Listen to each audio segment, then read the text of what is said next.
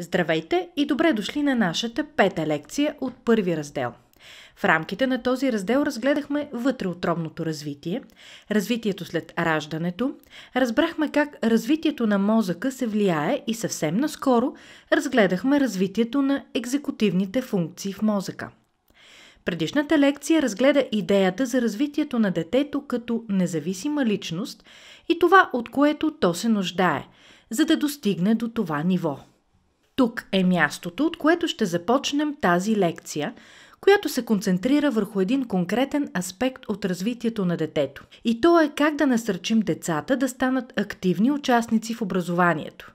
По-конкретно ще говоря за ученето само чрез игра и защо то е толкова важно, особено в детската градина, за да позволим на децата да станат независими участници в обществото. Тази лекция ще бъде и естествено надграждане на освоените знания в предходните няколко урока, които засягат идеята за изграждането на екзекутивните функции в мозъка. Пред вас виждате общ преглед на холистичното развитие на детето. Според този подход, отделните сфери на детското развитие не се формират в изолация и всеки един аспект се развива в зависимост от друг. Социалното, емоционалното, физическото, когнитивното и езиковото развитие се изграждат в непрекъсната взаимосвързаност в цялостното детско развитие. Също е важно да знаем, че това развитие се дължи на взаимоотношенията с средата когато детето участва в социалното взаимодействие, как реагира емоционално, как бива подкрепено емоционално, как когнитивното развитие се повлиява в резултат на неговия опит, както в къщи, така и в детската градина и в общността. Всичко, което се случва или не се случва в тези първи 7 години, е от изключително значение за развитието на детето. На този слайд виждаме различни области, които имат отношение към това детето да развие своя вроден потенциал в бъдеще. Нека обсъдим културните аспекти на развитието. Тази тема ни връща към идеята за това, кое ние смятаме за норма. Можем да определим нормата в резултат на нашите преживявания, след което да се опитаме да ги сравним с тези на другите хора. Когато приемаме, че нашето съществуване е нормално, това означава ли, че животът на другите не е в норма? Само защото някой няма същите традиции и вярвания като нас, това значи ли, че той не е нормален, същото се отнася и за поведението. Това, което имам предвид под вариации и модели на развитие на децата, е, например, че от една страна имаме скала на уврежданията, а от другата идеята за надареното дете и на основа на това могат да се развиват хиляди множества вариации в популацията. Няма как да се твърди кое точно е норма. Можем коректно да използваме понятието норма като ориентир, с който се опитваме да преценим къде приблизително би следвало да се намира едно дете в дадена възраст. Но задължително, отчитайки, че има деца, които имат различни вариации в моделите на развитие в резултат от различни фактори, малка част от които са в резултат на увреждане или, както споделих, на надареност. Отиваме по-нагоре към идентичността, която до голяма степен се базира на закономерностите, които разгледахме в последната лекция и представлява собствената представа за себе си. Кой съм аз? Къде принадлежа? Къде се намирам спрямо своите връзници? Кой съм за моите учители и родители? Какъв е моят пол? Кои културни влияния повлияват върху моята полова роля – на мъжа или на жената се полага повече уважение в моята общност. Културните влияния и взаимоотношения въздействат на идентичността на детето. Чрез тях то много бързо се ориентира къде се намира неговото място в обществото и в резултат изгражда представа за себе си. Духовното развитие, религията, която се изповядва, също както и културното разнообразие повлияват върху формирането на нормите и ценностната система на обществото. Под разнообразие имам предвид наличието на разнообразие в обществото, базирано на културата или на религията. Децата се повлияват от собствените си преживявания, но също и от преживяванията на другите хора. Припомнете си, в една от най-първите лекции разглеждахме биологичните основи на развитието, капацитета с който сме се родили и как той дава възможност на децата да развиват умения и компетенции, както и значението на движението за нашия кинестетичен опит. И останаха символните действия. Типът игра, който представяме на децата, езикът с който ги стимулираме да общуват, типът комуникация, която е в резултат от това и как това прави децата творчески ориентирани. Всички тези аспекти са важни, когато имаме предвид как средата, която заобикаля детето, влияе на неговото развитие. Продължаваме напред. Искам да привлека вашето внимание към активното учене чрез участие. Важното тук е, че осигуряването на нови живявания предоставя възможност на детето да изгради тези формации в мозъка, за които говорихме. Когато предоставяме материали на децата, следва да имаме предвид някои специфики, тъй като самото предоставяне на материали не е достатъчно. Например, материалите трябва да са разнообразни, за да има възможност детето да се избира от тях и също така достатъчно, че да стигат за всички деца. Дори тези материали да са изработени с подръчни средства или от рециклирани материали, от същинско значение детето да има свободен достъп до тях. Също е важно материалите да могат да се обединяват тематично. Например, в кът за дума, в който децата играят на семейство, би трябвало да има и други типове играчки, като дрехи на а, готвач, шапка или престилка, за да може децата да изпробват и други роли. Друг добър пример е момичетата да се преструват на шофьори на камион, влак, самолет и така нататък, а момчетата да се насърчават да готвят, например. Допълнително от голямо значение е материалите да са подходящи за възрастта. Причината за това е, че ако децата се ангажират с материали, които са извън техния възрастов диапазон, те няма да са привлекателни за тях, бързо ще им доскочае или ще се изнервят. Това, което искаме, е децата да могат да манипулират предметите, които използват, да могат да ги държат, разглеждат, да ги събират заедно, да ги трансформират. Това може да е нещо просто като играта в пясъка. Добавете вода към пясъка и той се превръща в нещо лепкаво, което остава по кожата и в същото време дава възможност да се направят фигури от него. За да може детето да изследва пясъка, да позволи на пясъка да минава свободно през пръстите, след което да го комбинира отново с водата и да създаде от него фигура. Нека също се замислим и за играта с буите – това те да имат възможността да намажат ръцете си с боички, да ги размажат между двете си ръце и да направят отпечатък върху масата, да почувстват текстурата на боята по ръцете си, да смесят двата вида цвят в нов, трети. Например, да видят какво се получава от жълто и червено и след това, комбинирайки материалите, да създадат нещо ново от тях. Възможността да имаш правото на избор е от изключително значение. За детето е важно да има такова право, така че да направи избор с какво иска да играе, с какъв вид материал, какво иска да построи и как да го планира, вместо да бъде винаги водено от възрастен. Това не би следвало да се отнася само до моментите на свободна игра. Тази идея може да се интегрира и в ситуациите, в които децата са ангажирани в научаването на нова концепция – да им се предостави възможност да изберат как да научат тази концепция, докато възрастният ги подкрепя. Ние знаем, че изборът е пътят, по който детето развива автономно поведение, за да може да мисли самостоятелно извън това, което вижда и съществува, и да бъде креативно. Можете ли да свържете тази информация с екзекутивните функции? Езикът и мисълта на детето е също фасилитирана част от активното учене чрез участие. Когато на децата се позволява да опишат това, което правят, те имат възможност да разберат процеса на своята дейност и да могат да използват тази информация, за да създадат нов опит. Като, например, да разберат, че когато добавят червено и зелено, ще се получи нов цвят, който е кафяв. И тогава, ако добавят към него бяла боя, ще се получи по-светло кафяво. Да, изключително просто, но когато даваме възможността на децата да експериментират с тези неща, им предоставяме възможността да разрешат проблем, което е критично важно умение, свързано с екзекутивните функции. В много случаи ние не осъзнаваме до каква степен това активно учене, чрез участие, всъщност повлиява на развитието на мозък. Опитваме да оптимизираме средата за децата, затова и в много случаи ние всъщност иземваме цялата роля на децата.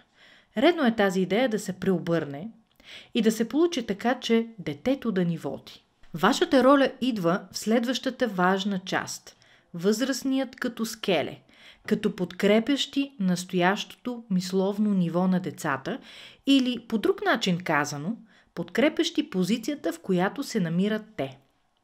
В средата следва да се осигурят и стимули, които да предизвикват децата да развиват нови умения, чрез които да достигнат нови етапи в развитието си и да моделират мисленето си в резултат тези нови обстоятелства. Тогава средата на активно учене се превръща в трансформиране и комбиниране на материали. Реализирайки дейности, проистичащи от личните интереси и намерения, използвайки подходящи за възрастта им инструменти и оборудване, материали и дейности, децата изследват активно всички свои сетива, откриват взаимоотношения или най-общо казано, напредват в своето развитие. Предходният слайд включваше идеи за това какво може да се постигне с осигуряването на подходящи материали. Но всъщност, ако ние искаме да преобразим начина по който децата взаимодействат със средата, трябва да превърнем средата в такава, която предоставя възможност за активно учене – това се случва, когато възрастният отстъпи назад, наблюдава случващото се, внимателно насочва към нови открития детето, давайки му възможност да прекрачи към следващата фаза на развитие, като му позволи да преобразува, инициира, избере, изследва и преоткрие средата само за себе си. Положителните взаимодействия между възрастни и деца са критични в развиването на екзекутивните функции. Знаем, че ранните преживявания се отразяват на структурното развитие на мозъка, което е основа на цялото по-нататъчно учене, поведение и здраве. Тази информация разгледахме в лекцията за изграждането на екзекутивните функции на мозъка. От изключително значение за вас като учител е взаимодействията, които имате с децата, да са изцяло положителни. Дори и това дете да има поведенчески проблеми, въпреки това, вие трябва да положите всички усилия, за да развиете позитивни взаимоотношения с него, за да му позволите то да развие своя възможен потенциал. Това, което е важно да знаем, е, че възможността за промяна на връзките в мозъка ни се променя с възрастта. Тук искам да видите възможността на мозъка да се промени в отговор на преживяванията. Моля, погледнете втората, четвъртата, шестата и осмата година. Може да видите маркираното от лявата страна. С порастването на детето тази промяна изисква все повече усилия. Това още веднъж иллюстрира значението на периода от раждането или преди това – в този период се развиват и екзекутивните функции, като според изследванията за развитието им, критично важен е периодът между втората и третата година. Може да видите от другата страна на диаграмата количеството усилия необходимо за такава промяна и как те се увеличават с порастването на детето което означава, че най-малко усилия са необходими за долния ляв край или именно през първите години от живота на детето. Пиаже ни казва, че е важно да знаем начина по който децата формират познанието. То не възниква нито от предметите, нито от детето, а от взаимодействието между детето и предметите. Нека накратко си припомним това, за което говори Пиаже, когато разглежда развитието на интелекта при децата. Това не е същото като коефициент на интелигентност. Интелигентността, за която Пиаже говори, е свързана с теорията на Дарвин – използването на информацията, която си научил с цел оцеляване или така нареченият естествен подбор. Приемането на информацията – асимилация, плюс добавяйки това, което вече знаем – акомодация, и използвайки новата информация, за да променим поведението си, т.е. адаптация, като например да разрешим нов проблем. Целият процес, който Пиаже разглежда, е изключително важен, за да може децата да се адаптират към средата. Да повторим.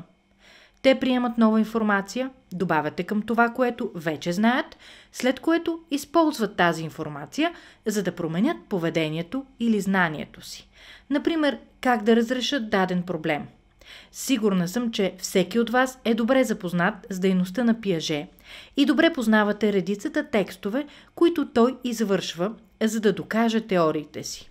Едно от важните неща, които той ни показва – е, че децата са способни на различни дейности през различен период от тяхното развитие. Той не говори за ролята, която мозъкът играе при тези различни задачи. Днес знаем, че случващите се промени в мозъка позволяват на децата да разберат задачите. Въпреки това, известни са и други изследователски дейности, изпробвани на база на теорията на Пиаже – и по-конкретно начините по които той задава въпроси и представя своите задачи. Въпреки всичко, рамката на Пиаже около прилагането на редица експерименти и тестове спрямо деца ни дава ясен обобщен поглед върху това, което трябва да очакваме от децата и какво конкретно поведение могат да имат през различните периоди от своето развитие. Друга също важна информация е, че Пиаже казва, че мозъкът ни е нужен – за да взаимодействаме с средата, но той не влиза в подробности за мозъчната структура. Бих искала да припомня информация, която съм споменавала по-рано, свързана с твърдението на Скинер за мозъка. Детето реагира на средата, но по начин, по който мозъкът му позволи. Искам да помислите върху възможностите на детето и неговия капацитет, които му позволяват да се справи с средата. Вероятно повечето от нас очакват, че дете, което се води надарено, може да се справи с задача много бързо в сравнение с дете, което има Аспергер или други видове специфични затруднения, като дислексия или диспраксия. Сигурно не очаквате, но е факт, че тази група също среща трудности при справянето с задачите, които средата им предоставя. И това е защото техните мозъци също функционират по друг начин. Каква е нашата роля като възрастен? Нашата роля е да наблюдаваме къде се намират в развитието си нашите деца, за да може да фасилитираме взаимодействието им с средата, която стимулира тяхното развитие. Това е изключително свързано с учебната програма в ранна детска възраст и предучилищния период, който днес е под голям контрол и фокус, защото, както вече знаете, все повече изследвания доказват значението на ранните години за развитието и учението на детето. В следващите няколко минути ще ви разкажа за всичките различни елементи от учебната програма в ранното детство. И през това време ще ви помоля да помислите кои от нещата, които ще споделя, може да внедрите във вашата практика. Първият аспект, който ще разгледаме е социалното и емоционално развитие. Детската градина предоставя на децата много видове възможности, за да взаимодействат в социален и емоционален план. Един от тези моменти е времето за хранене, паузите за напитки, които следва да бъдат изпълнени с приятни преживявания с приятели, при които децата се научават какво е правилното поведение, когато се намират на масата. И това зависи от възрастните. Това трябва да е мястото, което може да се използва за разговори. Необходимо е учителят да ги инициира – но да не ги контролира или доминира. Ролевата игра помага на децата да разберат как се чувстват другите хора. Ролевото представане на емоциите в педагогическите ситуации е по-ефективно сравнение с разказваната история или пеенето на песен за тях.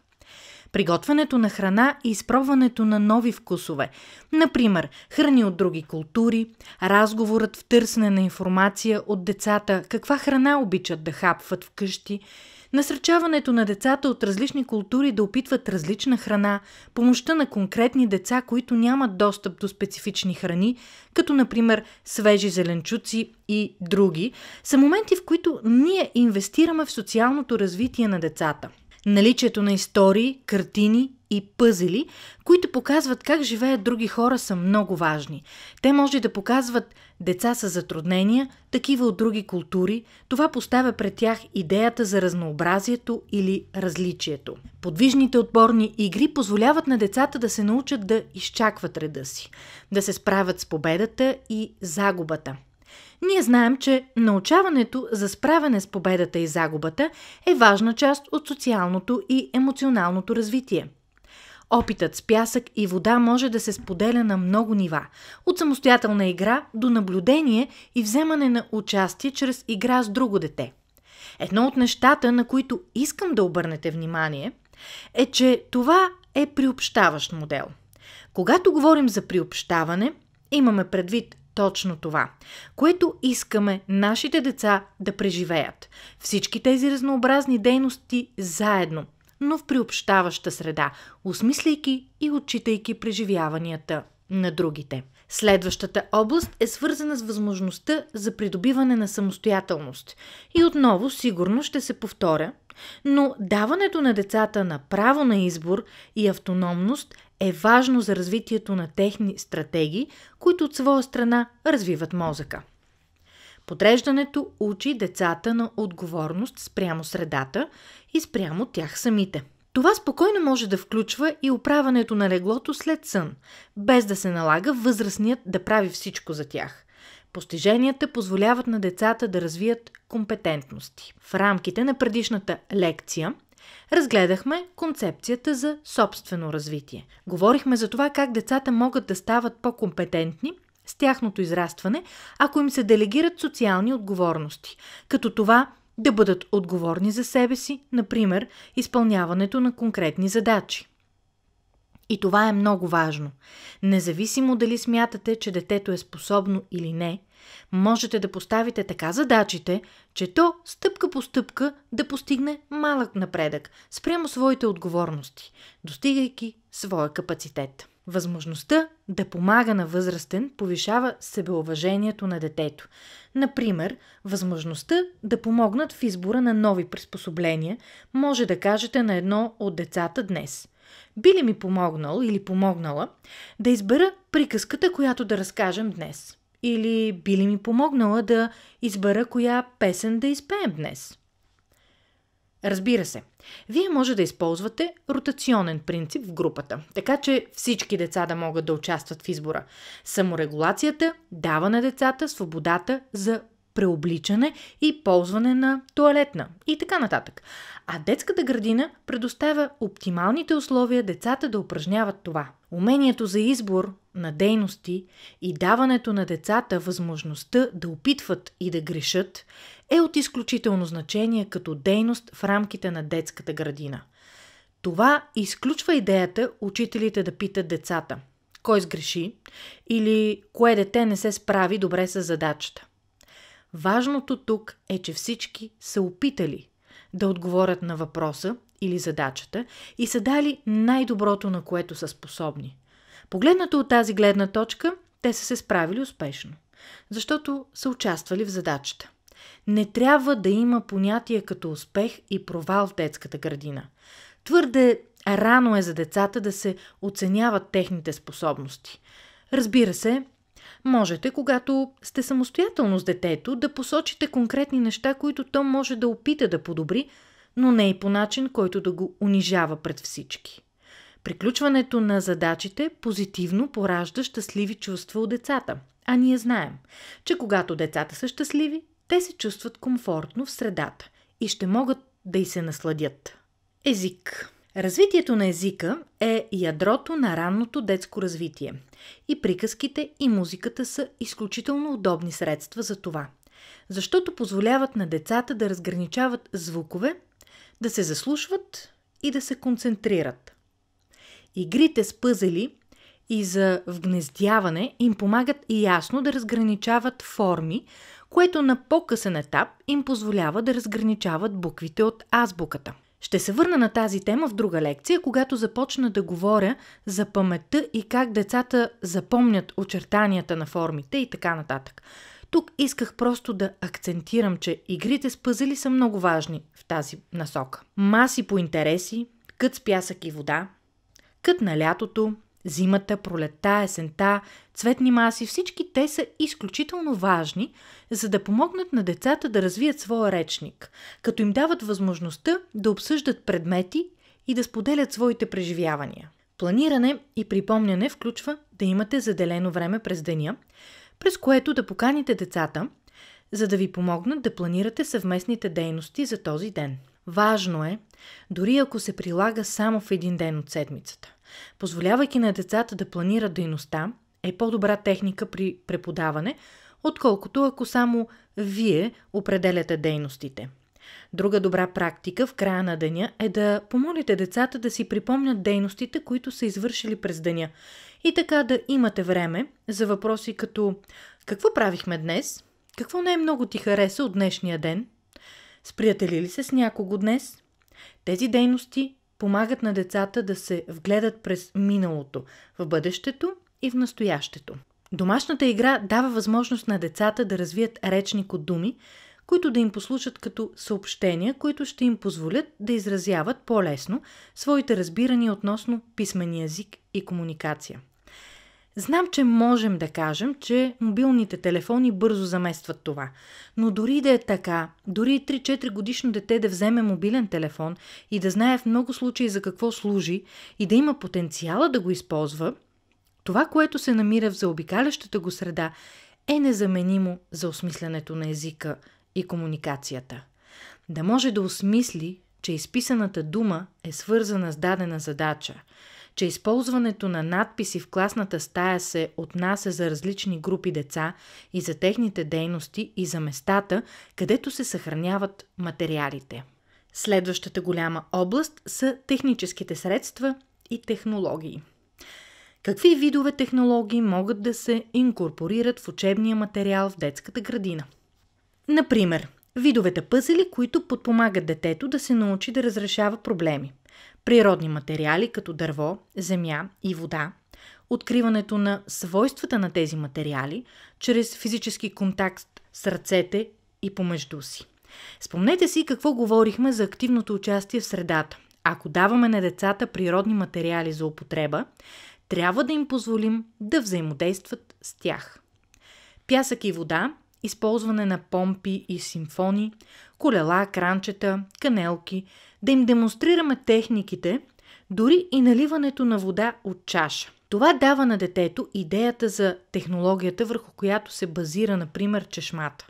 Създаването на структури в умален вид по време на игри на уш, като например пътни възели, ЖП линии с минаващ влак по тях. Изграждането на пътен възел или ЖП линия и окоръжаването на децата да работят заедно, за да разберат как да го сглобят, поставя необходимост те заедно да планират дейностите си и да организират средата. И това включва разрешаването на проблем. Маси по интереси, магнити, батерии, механични устройства и така нататък.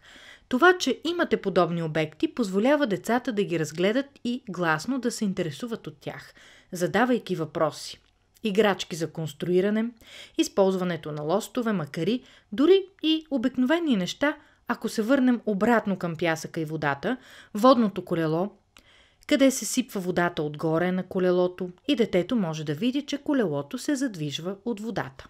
Наука. В общи линии включва вече изброеното. Например, различните видове тесто за игра позволяват упражняване в разпознаване на усещанията относно материалите и поведението им. Мисля, че този пластелин не може да се разточи и да стане плосък, твърде скоклив.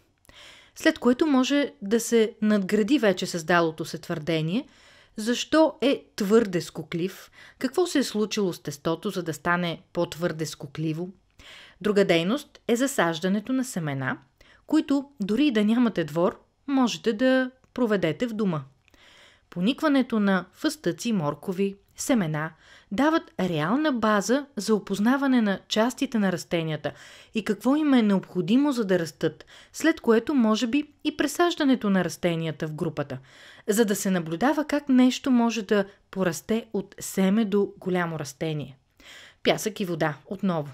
Мокрият пясък не минава през канелката – по начина по който само водата или само пясъкът минават. Ето едно просто наблюдение. Активната игра допринася за разбирането на сили като дърпане, бутане, спиране, стартиране, клатушкане. Това може да се случи с колело навън или с велоаргометър в стаята. Дружелюбни възрастни, които, сприятелявайки се с децата, инициират разговори с тях, като например как се създава гориво за ракета – Тук имам предвид, че често възрастният е този, който фасилитира разговора и дава директни отговори на детето. А в този случай възрастният може да ги насочи към налични материали, спрямо които те имат интереси.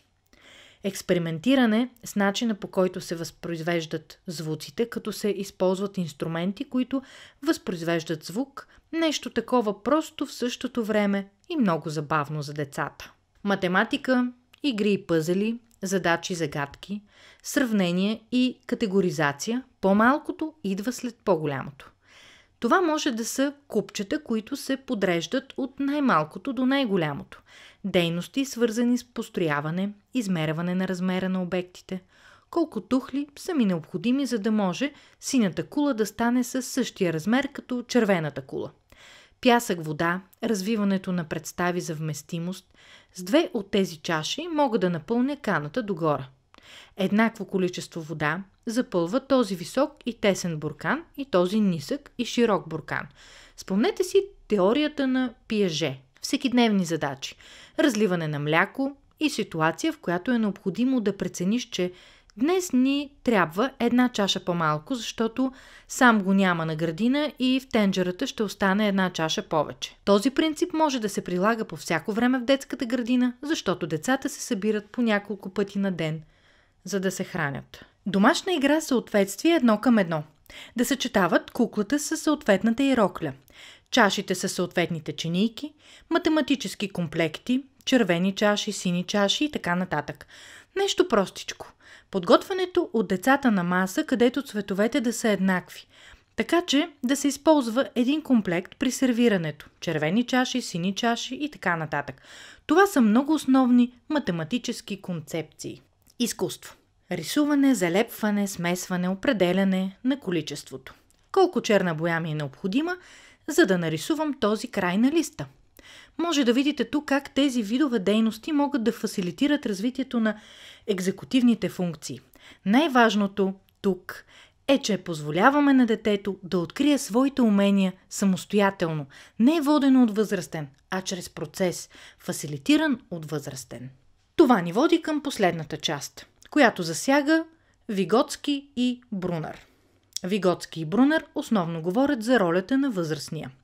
И те ясно дефинират ролята му, сравнявайки я с Келе. Сега, искам да помислите каква е вашата роля в това.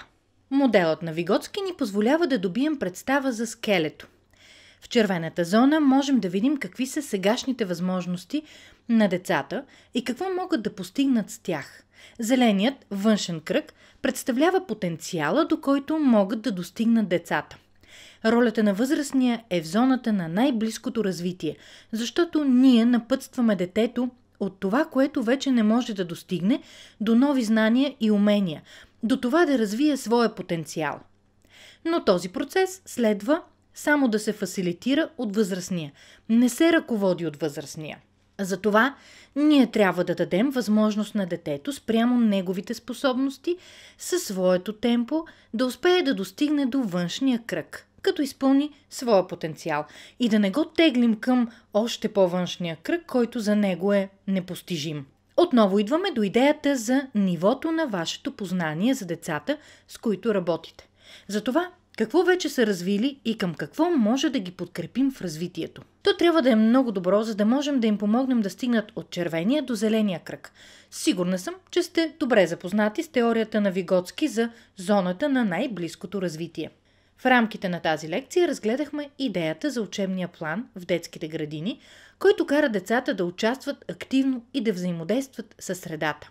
Важното тук в създавания приобщаващ модел на образование е децата да са ядро на активното участие, не задължително ръководени от възрастни, но фасилитирани от тях. В нашата следваща лекция ще разгледаме ролята на екзекутивните функции и работната памет. Благодаря ви!